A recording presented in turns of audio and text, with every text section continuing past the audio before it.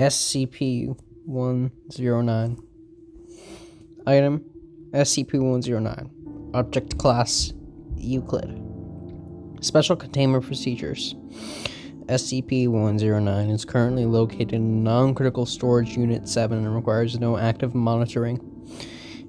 It should not be removed from the unit except to be transported to a research facility and then only by personnel with level 3 security clearance or higher. When replacing SCP 109, personnel should ensure that it is firmly closed and that it is placed on the modeled pedestal in the upright position. Description SCP 109 is a standard issue United States Army ca- canteen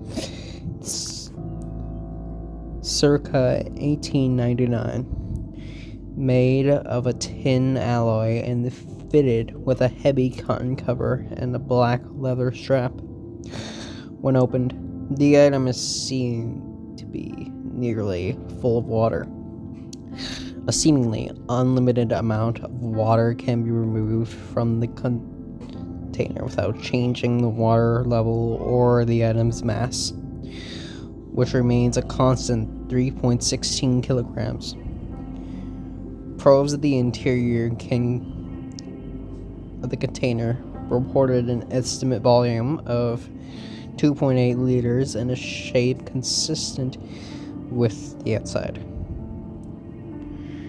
The water in SCP 109 is a slight blue gray tint with concentrations of two of 20 ppm of tin and 170 ppm of other electrolytes. Please tell me what ppm is, please, Mr. Akrams. Thank you. The water remains at a constant temperature of 19 degrees Celsius, but can be heated or cooled removed to another container. Addendum 109 1. Upon the item's delivery to Site 19. It was given the object class of safe, as tests were conducted on the item, uncertainly surrounding test results promoted gem. To upgrade the object class to Euclid. Addendum 109 2. Recently, a request was filled and granted by Dr. for permission to in Orca plant.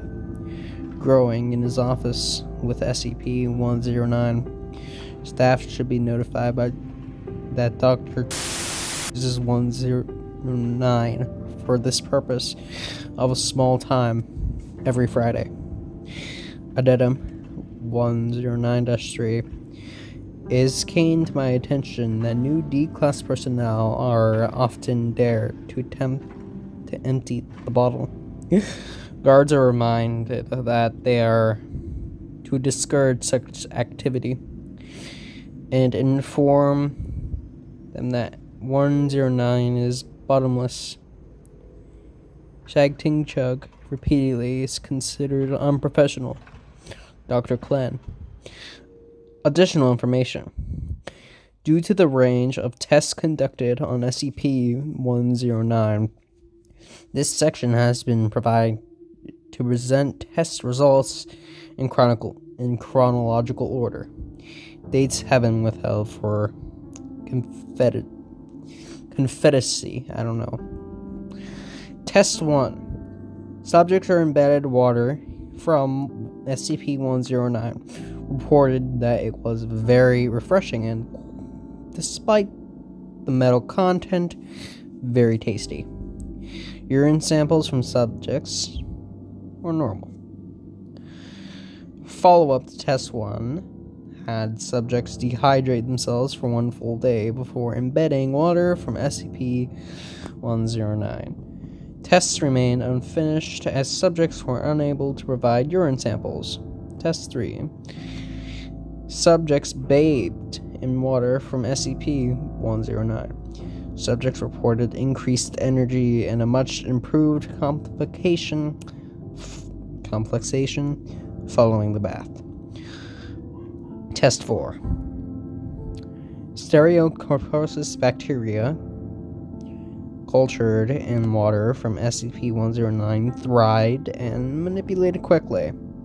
Water from SCP 109 administered to subjects surfacing from stereotypical infection killed nearly all bacteria and produced a full recovery within 24 hours. We could definitely use this SCP for the environment if it was real. Test 6 Water from SCP 109 administered to various plant organisms, all of which remained very healthy and showed no malgin symptoms.